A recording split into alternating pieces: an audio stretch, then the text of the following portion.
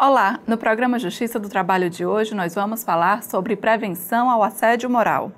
Em 2018, mais de 56 mil ações envolvendo assédio moral foram ajuizadas na Justiça do Trabalho em todo o país. Mas o número pode ser maior, visto que muitas pessoas têm receio de denunciar práticas abusivas como esta. Para prevenir e combater o assédio moral, a Justiça do Trabalho lançou a campanha educativa Pare e Repare por um ambiente de trabalho mais positivo, composta por vídeos e cartilha. O objetivo da campanha é mostrar a necessidade de se trabalhar em ambiente de respeito mútuo e tratamento cordial.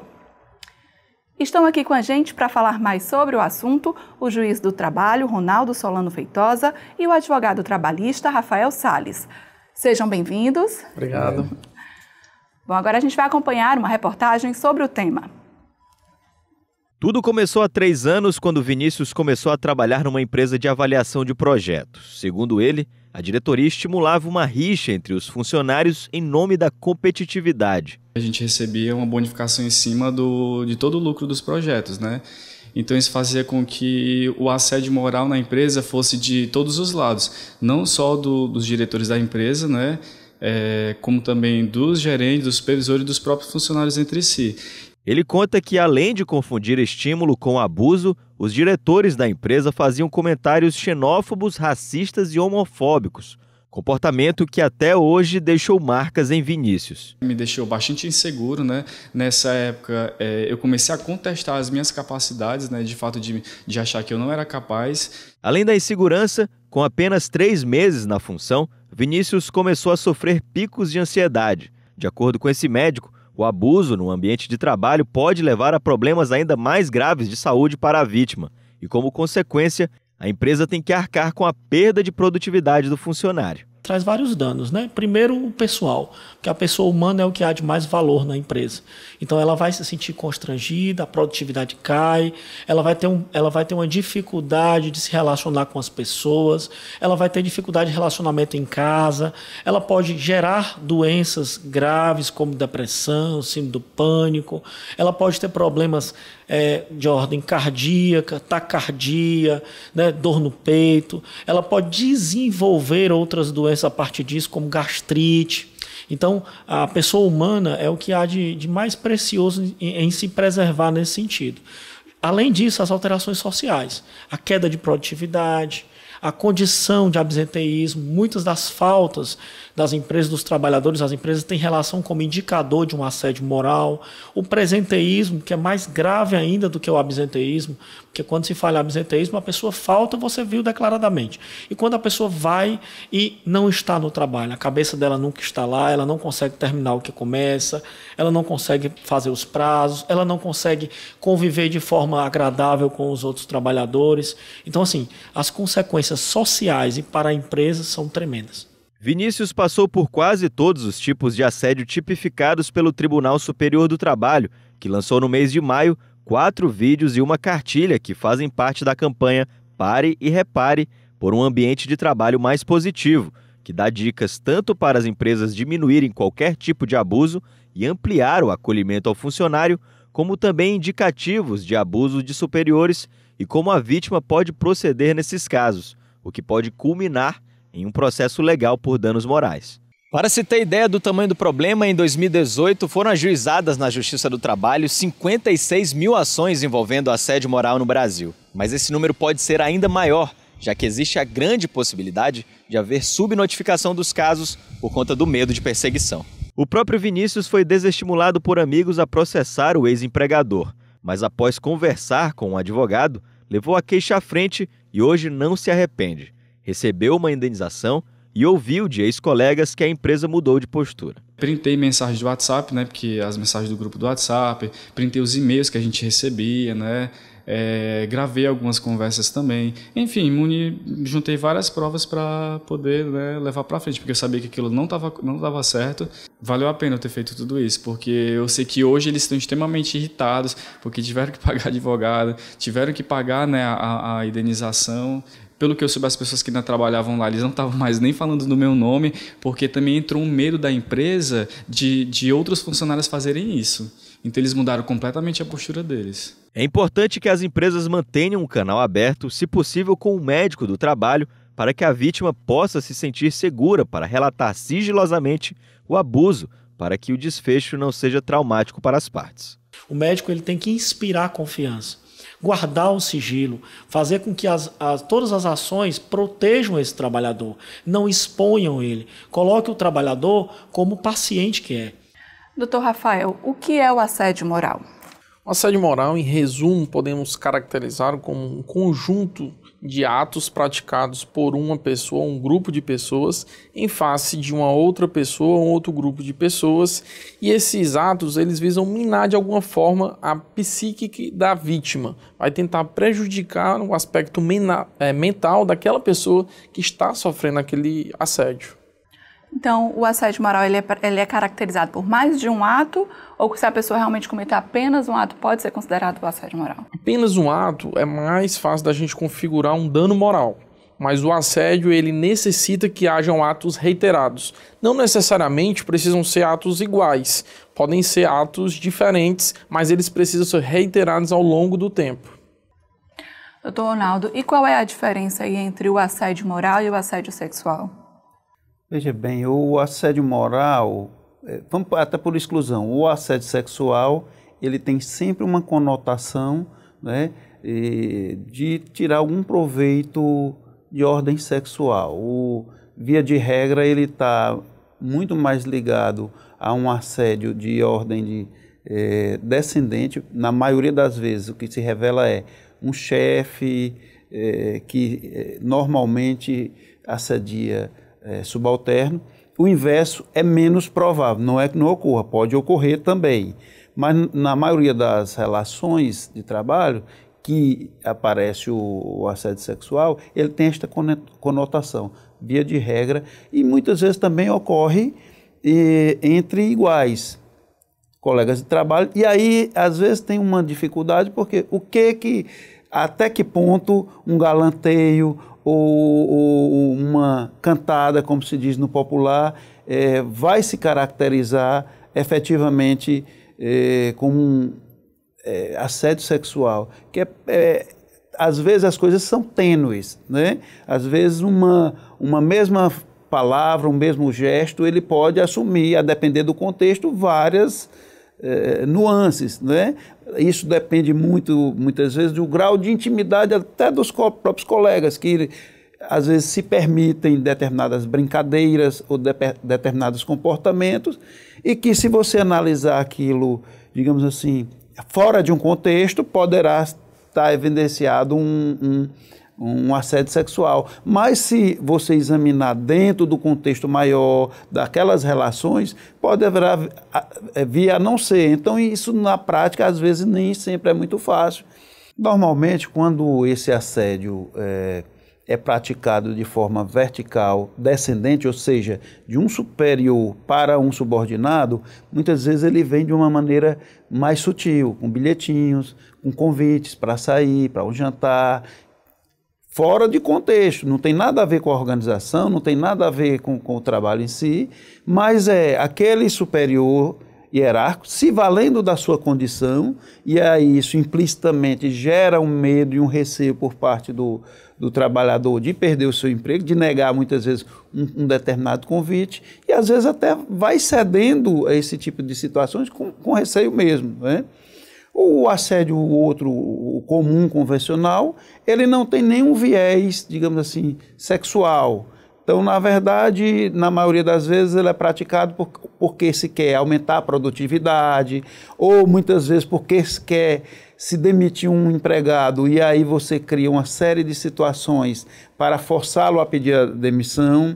Né? Então, ele assume vários contornos, que isso pode ser de, de, diversas maneiras, por gestos, por palavras, por atos, por ações, por omissões, enfim, ele tem um viés muito amplo. Né? No dia a dia, o que a gente percebe é que tem enormes é, fatos que podem ser caracterizados como assédio moral.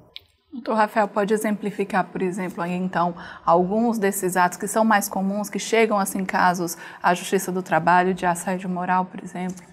Podemos enumerar, por exemplo, um, um chefe que muitas vezes utiliza de palavras de baixo calão para estar tá tratando os seus subordinados. É um exemplo muito comum de estar tá chamando a pessoa, às vezes, de uma palavra ou de um apelido que também ela não gosta, que ela não se identifica.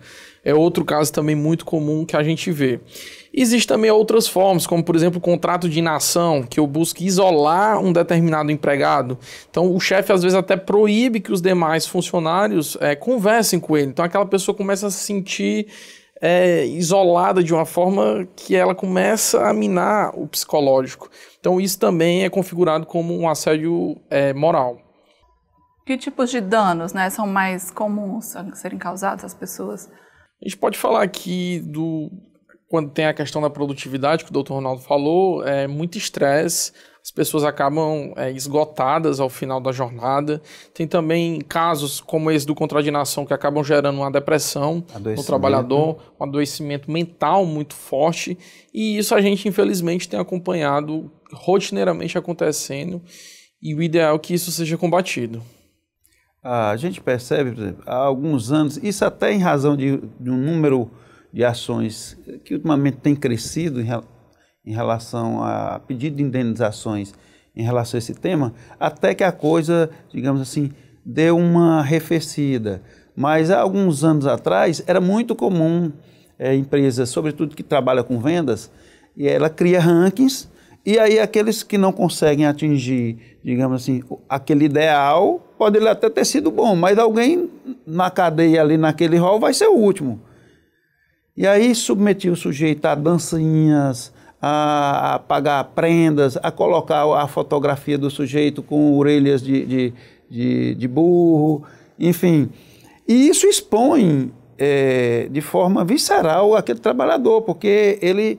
É, primeiro que esse, essa questão das metas, é bom que a gente lembre que ela por si só, a cobrança por si só, é, é algo normal. As metas hoje ela ocorrem em todos os âmbitos. No, no, no serviço público da mesma maneira. Os juízes, por exemplo, nós temos metas a cumprir? Temos. O problema não é existir metas, o problema é a forma como você cobra estas metas e se elas são possíveis, porque a partir do momento que o empregador estabelece metas que não são atingíveis de plano, isso coloca numa situação de vulnerabilidade muito grande os trabalhadores, porque ele está sempre se sentindo impotente né? mas não por culpa dele, mas porque aquelas metas muitas vezes são inatingíveis, as cobranças são de formas exageradas e isso muitas vezes vem em cadeia.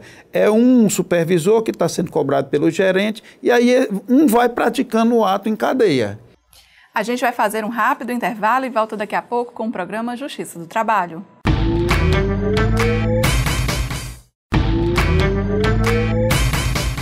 Voltamos com o programa Justiça do Trabalho, hoje falando sobre prevenção ao assédio moral. Doutor Rafael, qual é a diferença entre o assédio vertical e horizontal? Quando a gente fala de assédio vertical, está falando ou de baixo para cima ou de cima para baixo. O que é que isso quer dizer na prática? Ou de um grupo de trabalhadores para o seu chefe, ou do chefe, que é o mais comum, para algum trabalhador ou para o grupo mesmo de trabalhadores. Já o horizontal está todo mundo na mesma faixa, então são colegas de trabalho que de alguma forma escolhem algum colega para poder praticar atos que vão configurar o assédio moral.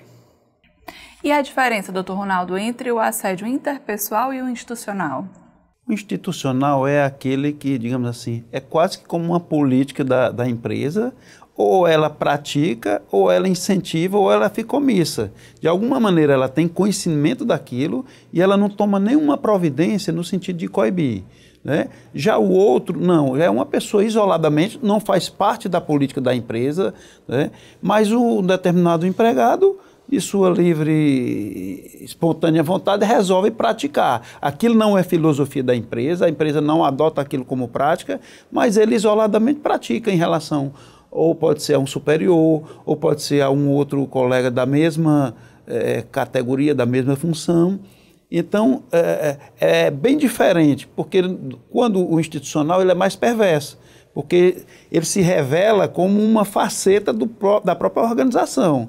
E aí ela é mais, é mais difícil, digamos assim, para os trabalhadores, porque quando ele é individual e não faz parte da política da empresa, o empregado, ao comunicar ao seu chefe ou à sua à ouvidoria, enfim, certamente aquela empresa que não adota esta linha vai coibir, vai tomar providência. Né?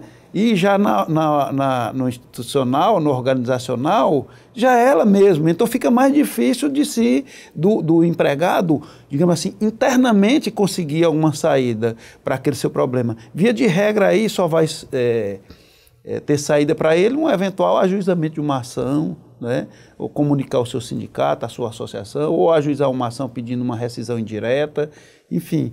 Porque se é institucionalizado, dificilmente ele vai encontrar a saída desse problema dentro da organização. E é interessante complementar com exemplos até que já foram dados, mas para ficar claro para o nosso telespectador, o assédio moral organizacional a gente pode falar, organizacional é um outro nome também para esse institucionalizado, a gente pode falar, por exemplo, de um troféu tartaruga, que é aquele funcionário que ficou em último na questão das vendas é a questão da limitação ao uso do banheiro. Ó, oh, você já está lá, já dois minutos no banheiro, tem que voltar ao trabalho. Algumas empresas que praticam isso estão praticando um assédio moral institucional.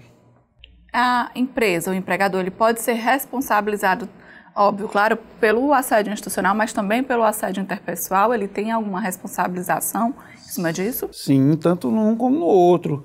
Até porque o, o, o empregador é responsável pelos atos praticados pelos seus empregados no exercício das suas atividades.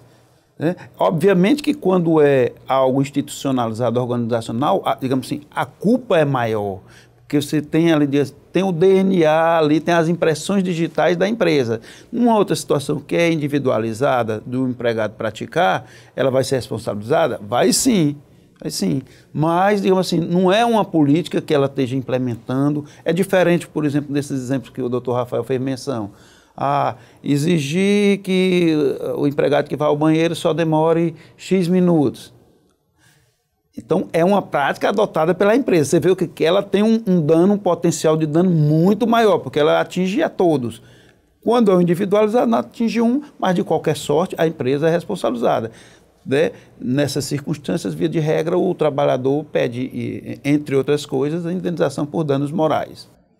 Quais são os tipos de provas né, do trabalhador que está diante de uma situação que ele até possa vir a ter dúvidas se está sofrendo ou não um assédio moral, né? Que tipo de artifícios e provas ele pode ter para comprovar que ele está passando por isso? O assédio moral, a comprovação dele, é, ela é dificultosa, porque muitas vezes ele é velado, então, é uma coisa que acontece muito ali numa relação mesmo individual do assediador com a pessoa que está sendo assediada.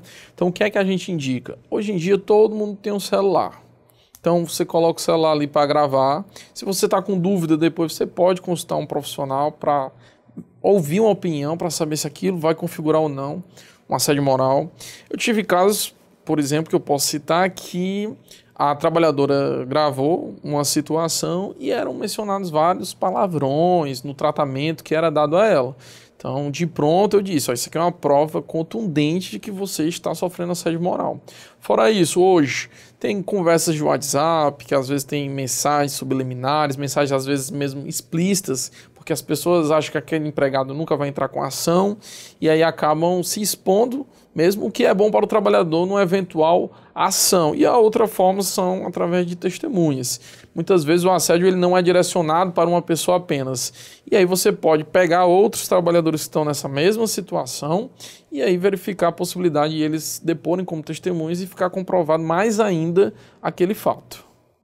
Em tempos de novas tecnologias, é, que tipo de situações, por exemplo, podem se configurar um assédio moral por meio da utilização dessas tecnologias? Por exemplo, uma mensagem de WhatsApp no horário de trabalho, falando aqui mais de uma conotação sexual, chamando um empregado ou empregada para sair num, totalmente fora de contexto, sem que tenha qualquer liberdade para isso. Isso pode sim configurar e já fica lá registrado numa rede social que é, que é o WhatsApp. Também a gente está falando de WhatsApp, mas Facebook, Instagram, tudo isso, se for utilizado em e-mail, né? Então, a tecnologia vem para o bem e vem para o mal de quem também está assediando, né? Pra quem está assediando pode já ficar configurado uma prova ali que não vai poder depois apagar. A pessoa printa, salva. É o que a gente tem visto hoje. Muito vem sendo cada vez mais utilizado nas ações na justiça do trabalho porque é uma prova muito contundente. Aquilo que sempre foi muito difícil de provar ao longo do tempo. É, porque com a prova testemunhal, que ela é sempre muito utilizada, mas às vezes guarda uma subjetividade, né? E às vezes um outro colega muitas vezes não quer depor porque ele também tem receio de, de, de perder o seu emprego. E às vezes as condutas são veladas de modo que alguém não, não consegue ver. É diferente. Tem situações que são visíveis. Por exemplo, um chefe que na frente de todo mundo é, é, profere palavras de baixo calão, grita com, com, com um funcionário ou um grupo de funcionários. E tem aquela situação que ele pode ser, digamos assim, praticado de maneira discreta. É ali, na passagem, diz uma piadinha que ninguém ouviu, é, é um bilhetinho que deixou lá que ninguém teve acesso. Enfim, às vezes não é tão fácil de. Mas, mas como bem é, relatou o doutor Rafael, quando se tem provas documentais, seja por meio de WhatsApp, seja o áudio, é, e-mails, bilhetinhos, ela sempre se torna uma, forma, uma prova muito robusta, muito forte, porque fica difícil de desdizer. Quando é só testemunha, às vezes você tem uma situação que é você leva ali duas testemunhas que dizem uma coisa e a empresa leva duas que dizem outra e você, muitas vezes o juiz fica com dificuldade de saber exatamente o quem está falando a verdade de, de, de chegar à conclusão se aquele enquadramento ali é de fato um, um assédio moral ou não. Bom, a gente vai fazer mais um intervalo e volta daqui a pouco com o programa Justiça do Trabalho.